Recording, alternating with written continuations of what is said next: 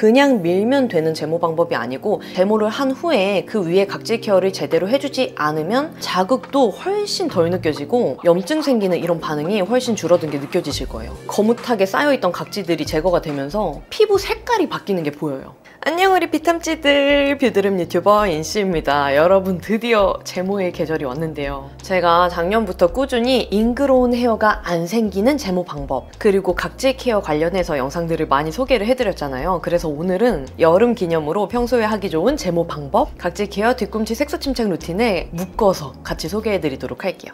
그럼 구독 눌러주시고 가보도록 할게요.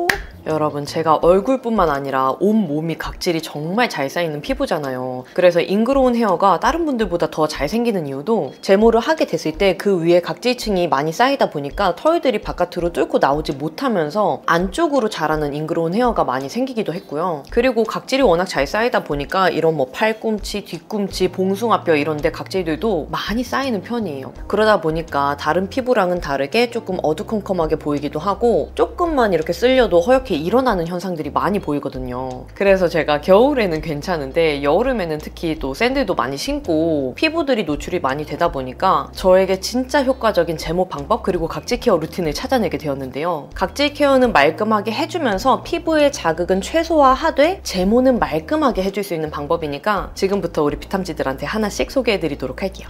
먼저 첫 번째로는 제모 방법부터 소개를 해드릴 건데요. 여기에서 포인트는 그냥 밀면 되는 제모 방법이 아니고 ingrown hair가 후에도 잘 안 생기게 해주도록 해주는 게 중요하잖아요. 그래서 주의해야 될 거를 먼저 말씀을 드리면 안 좋은 방법으로 면도나 waxing을 하는 것 두 번째로는 낡은 면도날을 사용하는 것 그리고 세 번째로는 털이 나 있는 반대 방향으로 제모를 하는 것 그리고 마지막으로는 제모를 한 후에 그 위에 각질 케어를 제대로 해주지 않으면 털이 안쪽으로 자라는 건데요.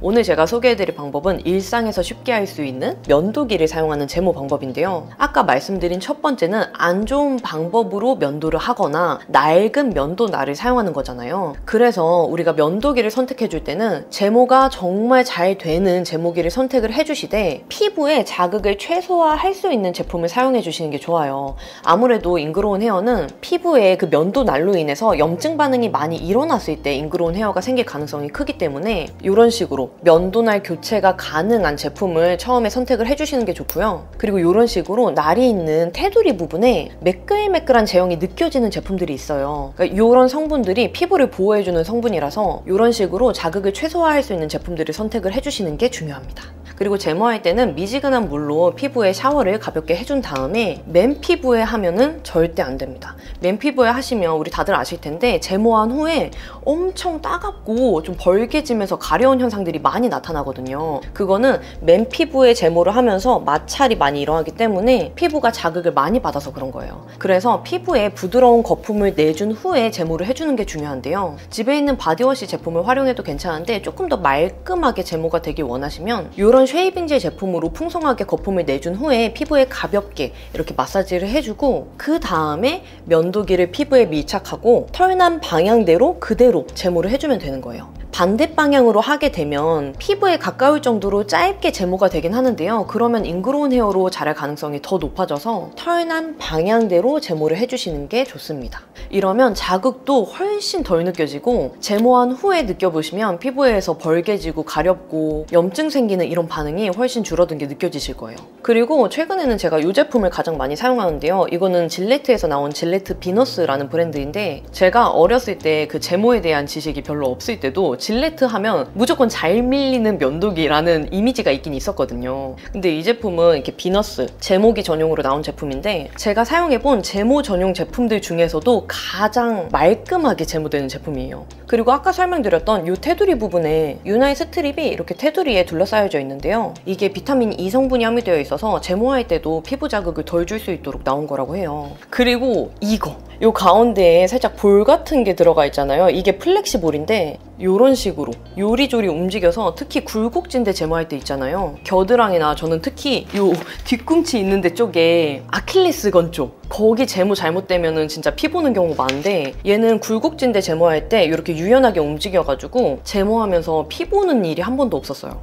그리고 제가 하는 털난 방향대로 하는 제모 방법은 아무래도 반대 방향으로 하는 것보다는 조금 털이 남아있는 있는 형태로 제모가 되는 경우가 많은데 Gillette Venus Swirl은 면도날이 오중으로 되어 있어서 털난 방향대로 제모를 해도 털이 진짜 말끔하게 제거가 돼요. 그리고 우리 비탐찌들도 제가 예전에 이제 제모 영상을 올리면 언니 면도날 사용한 다음에 이 면도기 사이에 털이 잘 안 빠져요 이런 경우가 진짜 많았는데 얘는 이 반대면 있죠. 이쪽으로 물을 세게 틀어가지고 헹궈내주면 앞쪽으로 털이 진짜 수월하게 빠져요. Venus Swirl 면도기 핸들 부분은 재활용 플라스틱을 사용했다고 해요. 그리고 포장재는 환경을 생각한 종이 포장지를 사용했다고 합니다. 그리고 저같이 털이 진하고 많게 나시는 분들이 아니더라도 팔 같은 잔털 부위도 여름에는 제모하는 경우가 많잖아요. 팔도 동일하게 털이 옆쪽으로 자라있거나 아래쪽 방향으로 자라있는 경우가 많아서 털난 방향대로 그대로 제모를 해주시면 돼요. 근데 이렇게 제모기를 사용한 제모 방법은 횟수도 정말 중요한데요. 이미 제모가 말끔하게 된 상태라면 그 다음날에 굳이 한 번 더 제모를 하시는 것보다는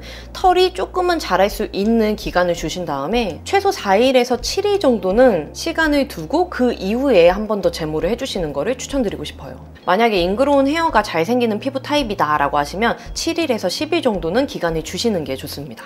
그리고 이렇게 제모를 다 마친 후에 또 중요한 게 제모기 보관 방법인데요. 보통 우리가 제모 마친 후에 욕실에서 제모기를 이렇게 딱 세척을 다 하고 샴푸나 body wash가 있는데 옆에 이렇게 세워두잖아요. 물기가 있는 채로. 그렇게 되면 세균들이 면도 날에 영향을 줄 수 있는 가능성이 많아져서 꼭 사용 후에는 물기를 깔끔하게 제거를 해주신 후에 가능하다면 알코올 swab으로 면도 날 부분을 소독을 해주시는 게 좋아요. 아니면은 사용하기 전이라도 꼭 알코올 swab으로 면도 날을 세척을 해주신 후에 제모를 하시는 것을 추천드립니다. 그리고 이렇게 면도 날이 호환이 되는 제품들은 어느 정도 이런 윤활 strip이 닳았다 그리고 면도 날도 사용한 지 오래됐다 하시면 면도 날을 새 걸로 교체를 해서 사용을 해주시는 게 정말 중요합니다. 그러면 제모할 때 자극을 받거나 제모 후에 염증 반응이 생기거나 ingrown hair가 생기는 가능성이 훨씬 더 줄어들게 제모를 해줄 수가 있어요. 그러면 이렇게 제모를 마친 후에는 두 번째로 body 각질 care를 해주는 건데요. 각질 care는 여러분 앞에서부터 계속 설명드렸듯이 피부에 각질이 쌓여 있으면 피부 결뿐만 아니라 털들이 각질층을 뚫지 못해서 안쪽에서 털이 자라거나 염증 반응이 생기는 현상을 동반할 수가 있거든요. 그래서 각질 care는 나 이날 중요한 날이니까 이때 신경 써서 해줘야지가 아니고 daily로 꾸준하게 해줄 수 있는 각질 care를 실천해주는 게 중요한데요. 제가 가장 추천드리는 거는 body scrub이랑 때밀이 장갑입니다. body scrub은 제가 정말 좋아하는 방법인데 피부가 약하신 분들께는 조금 강하게 느껴질 수도 있긴 한데 저처럼 강철 각질을 가지신 분들이라면 일주일에 두 번이나 세 번 정도는 body wash 대신해서 피부 결을 이렇게 scrubbing을 해주면서 마사지를 해주는 거예요. 그러면 일반적으로 body wash를 사용했을 때랑은 또 다르게 피부 결에 그 거칠거칠한 각질들이 제거가 되면서 원래 내 피부에 그 쫀쫀한 살결이 바로 만져지는 게 느껴지거든요. 1회 사용만으로도 각질 care가 확실 하게 되는 게 느껴지는 방법이라 저처럼 각질 때문에 고민이시거나 ingrown hair 때문에 스트레스를 받으시는 분들은 이렇게 정기적인 각질 care를 꼭 해주시는 거를 추천드려요. 만약에 나는 스크럽 제품이 너무 부담스럽다 하시는 분들은 각질 제거 성분이 함유된 body wash 제품을 사용해 주시되 때밀이 장갑 있죠? 이렇게 생긴 이런 장갑에다가 body wash를 묻혀주고 평소랑 동일하게 이렇게 몸을 마사지 해주면 되는데요. 저는 이 발꼬락 윗부분이랑 그리고 봉숭아뼈 이런 데 각질이 진짜 두껍게 쌓이고 좀 허옇게 일어날 때가 많아서 이런 부위를 조금 집중적으로 세게 해줍니다. 그러면 진짜 신기한 게 스크럽 사용한 것처럼 피부에 각질이 제거가 된 게 느껴지더라고요. 근데 강력한 걸로 따지면 저는 body scrub이 더 강력한 것 같기는 한데 때밀이를 사용한 방법은 body scrub보다는 자극이 조금 덜한 편이어서 daily로 쓰시기에는 이 때밀이 장갑 방법을 추천드려요. 그리고 세 번째로는 뒤꿈치 색소 침착 care 방법인데요. 이거는 아까 두 번째에서 설명드린 body 각질 care 방법을 다 해준 후에 추가적으로 BHA 성분이 함유된 패드를 사용해서 뒤꿈치랑 봉숭아뼈를 매일매일 아침 저녁으로 닦아주는 거예요. 그럼 진짜 신기한 게 여러분 얼굴 이렇게 각질 care 할 때도 살짝 노랗게 묻어나올 때가 있잖아요. 근데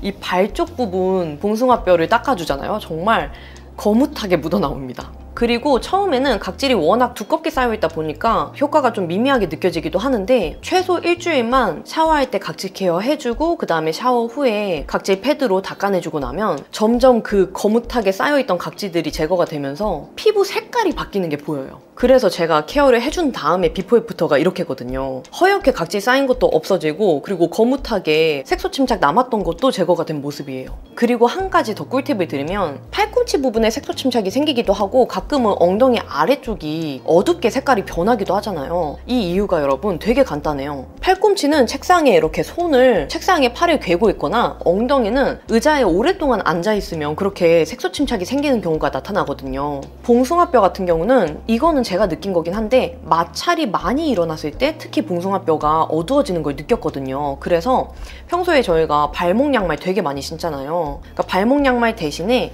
좀 이렇게 목이 올라오는 긴 양말을 신어주거나 앉았을 때도 앞바다리를 하면은 봉숭아뼈가 생각보다 많이 땅에 닿거든요. 그래서 땅에 바로 닿게 해주기보다 좀 방석을 푹신한 거를 깔고 앉는다든지 이렇게 해주면은 시간은 좀 오래 걸리긴 하는데 각질 케어랑 같이 병행해준 다음에 나중에 보면 확실히 그 색깔 톤이 바뀌어져 있는 게 보이더라고요. 네 여러분 그러면 이렇게 여름맞이 ingrown hair가 안 생기는 제모 방법 각질 케어, 뒤꿈치 색소 침착 케어를 소개해드렸는데요. 제가 애정하는 이 Gillette Venus Swirl은 올리브영에서 또 구매가 가능해요. 그래서 더보기란에 구매 링크 걸어놓을 테니까 비탐지들 거기 클릭해서 한번 봐주시면 좋을 것 같아요. 그럼 오늘 영상이 좋으셨다면 구독과 좋아요, 알람 설정 눌러주시고 댓글 달아주시면 확인이 바로 되는 댓글들은 답변 달아드리도록 할게요. 그러면 우리는 다음에 더 유용한 영상으로 만나요. 안녕